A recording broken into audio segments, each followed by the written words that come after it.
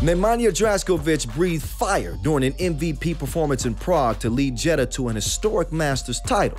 The eighth seed shocked the field to become the first Saudi Arabian team to ever win on the World Tour.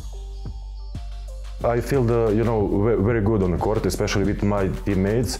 We get you know some other dimensions in our game, so I had a lot of open shots and everything. So I felt very comfortable on the court. So result was you know at the end very nice. I had a very good performance. First of all, the most important was, uh, you know, team success that we won that tournament. But MVP award is also very good. So if you ask me if I can choose to be winner and MVP, I will say yes. I will choose that.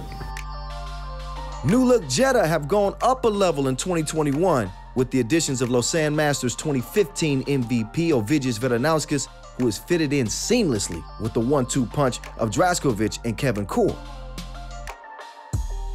For me, it's very easy to follow them, you know, especially, you know, on the court, they're always playing with 150%.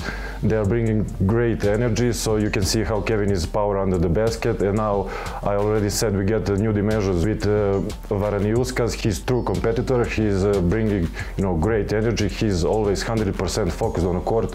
So it's, it's very easy, you know, when you have good players around you, it's easy, it's easy to play, it's easy to perform good.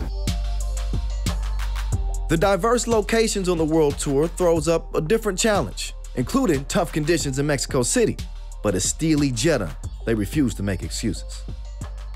It's extremely, extremely hard because I heard from my teammate Dan Mlakar, he played here two or three years before he won the tournament, and he told me, you, you will see it's extremely hard. I said, okay, but now when we came here, I felt it. It's, it's really hard because it's uh, 2,200 meters above the sea level and conditions are really hard, but you cannot make excuses. It's for everybody.